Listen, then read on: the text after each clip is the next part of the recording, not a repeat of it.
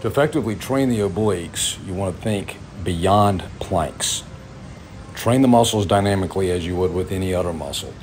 The cable height, set it approximately knee height. Take a strong, stable base so that you're not using momentum.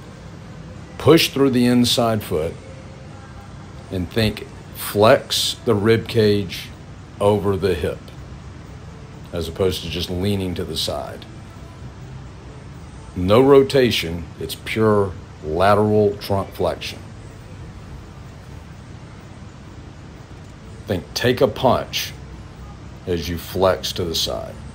It's all about the highest degree of tension that you can sustain throughout the set.